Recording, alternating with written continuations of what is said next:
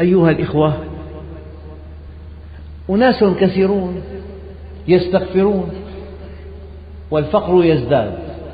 هي ظاهرة لو أنك حدثت من حولك بمضمون هذه الخطبة حتما سوف يقول لك أحدهم لا لا أنا أستغفره ليلا ونهارا والأمور تزداد تعقيدا. بماذا تجيبه؟ وصفة نبوية في الصحاح. إذا كان ثلث الليل الأخير. قبل الفجر. نزل ربكم إلى السماء الدنيا. فيقول هل من تائب فأتوب عليه؟